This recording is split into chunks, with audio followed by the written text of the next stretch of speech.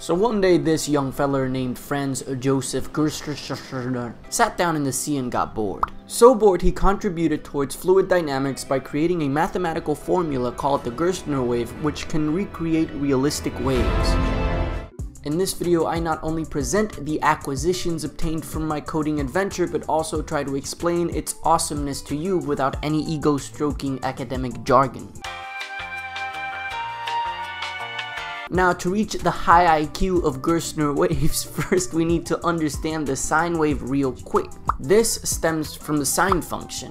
This shit plots a point based off the input you give them here, the x thingy. So depending on your x position, you're going to get a different y position. Now if we plot the whole x axis as input, you'll see that the sine function essentially plots points that look like a wave. Now you're like, oh dude, but where did the sine wave come from? I don't remember, they taught me that in pre-calculus too, but it was too boring for my mind to really digest. Anyway, here's the same thing but using the points of a 3D plane as input. So now let's limit the x input to be between 0 and 2 pi, which is a good moment to say that a typical wave has 2 pi of length, pi being 3.1415, I don't know what else. Now you're like, oh dude, but where did pi come from? And you know the answer to that. I don't remember, they taught me that in pre-calculus too, but it was too boring for my mind to really digest. Next, you can multiply a point by some value a, and a would then increment that point, right? So the higher the a, the higher the point. Well, the same jazz goes with the whole wave. If we put x to decrease by, I don't know, this value, you'll see that the wave moves a bit. Because now our input is x minus that little value we plugged. Well, let's name that little value something like c. So now c has the power to offset the wave. Great, c's get degrees. And if you have a variable that increases value across time like a clock, well boom, you get your first wave, baby. Let's go, GG. Nah, I'm just playing. Up until this point, we've been plotting a point based off an x value, but the Gerstner wave actually uses both x and y. Before, x was x and y was sine of x, but what would happen if our x input also changed? Well, let's do this. Let's make x be cosine of x and y be sine of x. By the way, cosine is basically almost the same thing as sine, but with a different starting point. So what happens? It does a circle. This is a property of plotting points with a cosine and sine. Don't ask why, you already know my answer. I don't remember, they taught me that in pre-calculus too, but it was too boring for my mind to really digest. A sine wave simply goes up and down, which is unrealistic cause waves be wavy. So they do that little circle thing we saw back then. I'll show you how. If we add to the x parameter that contains our cosine of x, for it to also increase by x, then we get this bad boy.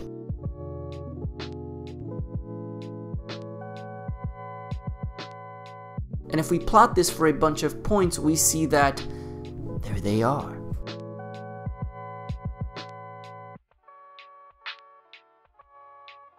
Finally, by stacking waves on top of another, we'll get a more detailed look, and that's exactly how we arrive at this.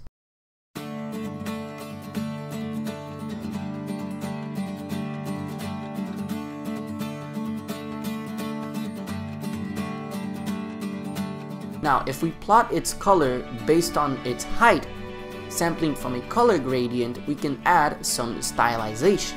To add even more, we could put ripples that stem from the Voronoi procedural noise, and finally, the magnifique.